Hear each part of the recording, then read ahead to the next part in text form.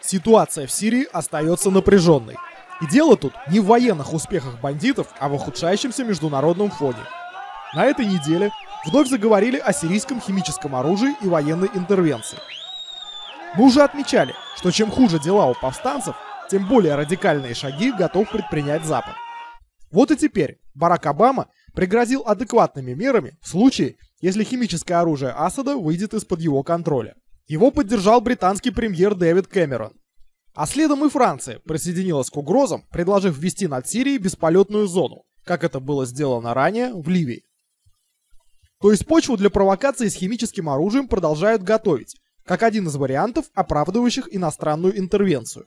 Схема не новая, но эффективная. Можно провести диверсию с химическим оружием в одном из сирийских городов, обвинив в атаке Асада. Можно организовать атаку боевиков на склады с химическим оружием и под предлогом защиты оружия от террористов начать военную операцию.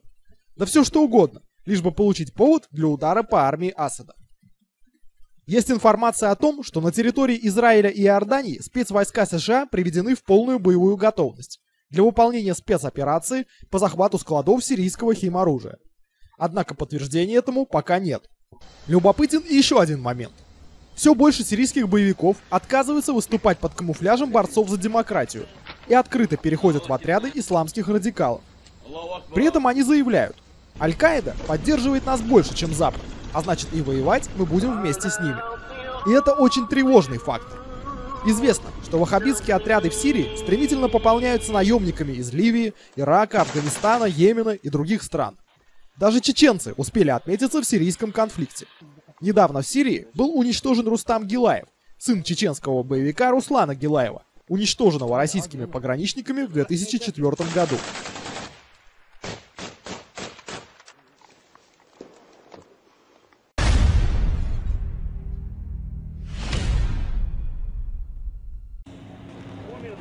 В последнее время мы фиксируем рост активности террористов на Северном Кавказе, в Татарстане и Казахстане. Всю неделю Дагестан, Ингушетию сотрясали дерзкие теракты. В Татарстане трое исламистов при неудачной попытке смастерить бомбу подорвались на ней в автомобиле. Кстати, один из них по имени Азат совсем недавно мелькал в нашем выпуске. Это кадры 39-го выпуска нашей передачи с митинга татарских исламистов в Казани. Все, это знаешь, или ваххабит, или террорист.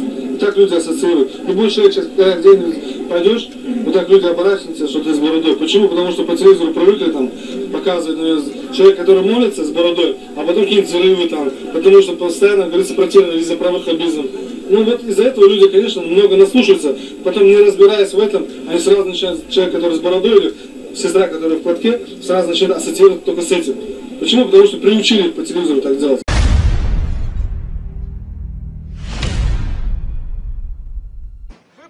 Недавно же был проведен новый митинг, несмотря на предупреждение и запрет властей. Когда полиция приступила к разгону исламистов, последовала вот такая реакция.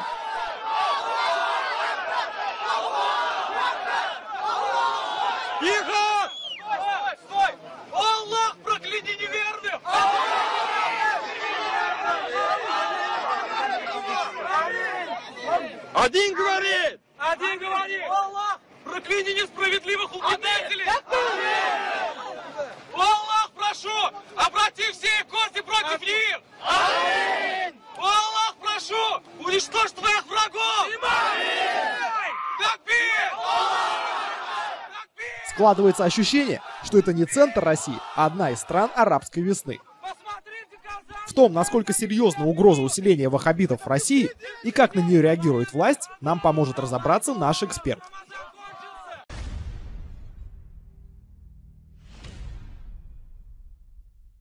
С нами на связи Яна Амелина, начальник сектора кавказских исследований Российского института стратегических исследований.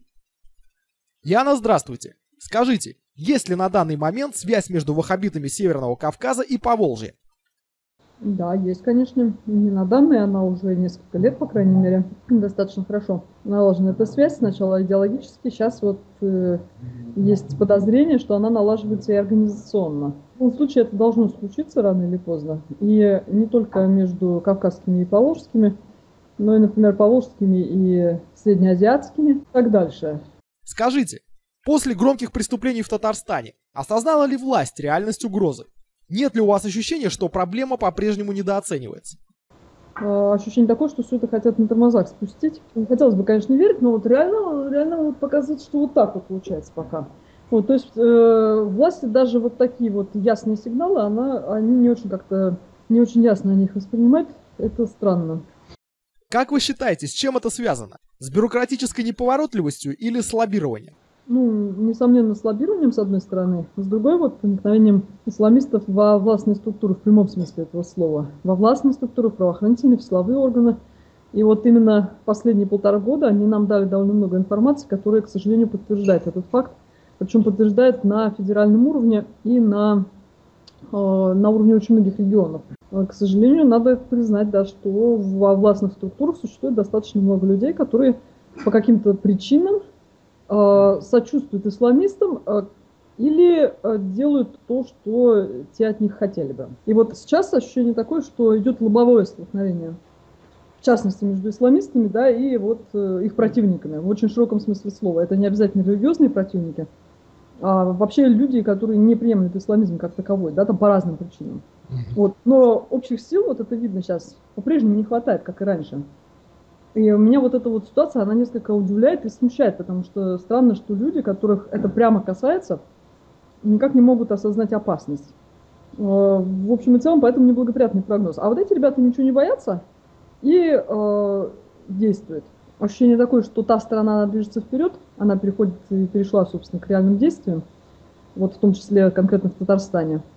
А мы все вот ищем какие-то ответы. То есть вот так вот получается. То есть мы э, в положении догоняющих здесь, а это очень паршиво, особенно вот э, с их пассионарностью.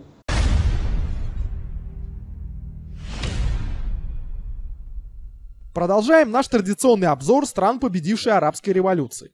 На этот раз обратимся к Египту.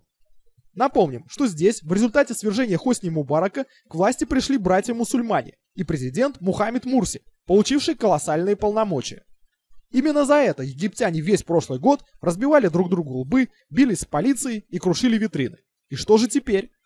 В конце недели в Каире вновь вспыхнули беспорядки. Толпа недовольных новой властью попыталась прорваться к президентскому дворцу, но была остановлена военными. Незадолго до этого на известной площади Тахрир разгорелось целое сражение между сторонниками и противниками нового президента. Военным пришлось блокировать все улицы, ведущие к зданию МВД и Минобороны, Аналогичная драма разыгралась и в Александрии. Чем же недовольны египтяне сегодня? Возможно, катастрофическим положением экономики. Арабская весна не только не решила ее проблемы, но и усугубила ее плачевное положение. Не спасли даже почти 6 миллиардов долларов, которые Египет назанимал после революции. Теперь власть просит у МВФ еще 5 миллиардов. И это даже не Греция. В Египте на грани голода находится 3 миллиона человек. Речь идет о жителях Северного Нила, которые раньше существовали на субсидии от государства. Увы, оказалось, что новая власть не способна поддерживать прежний уровень социальных гарантий. И есть все основания полагать, что арабская весна в Египте еще далеко не окончена.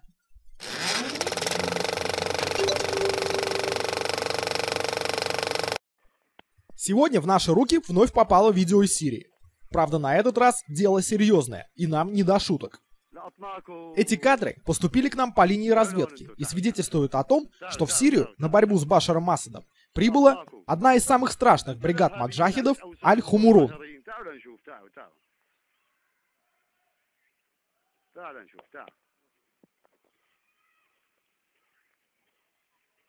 Ее участники имеют солидный опыт работы на стройках в Москве и Санкт-Петербурге, поэтому их лица скрыты. Как вы видите, эти безжалостные борцы с режимом вооружены новейшими образцами стрелкового оружия, гранатами-баклажанами, перцеметами и переносными зенитно-кабачковыми комплексами. По нашим данным, это и есть то нелетальное оружие, которое поставляет повстанцам Франция.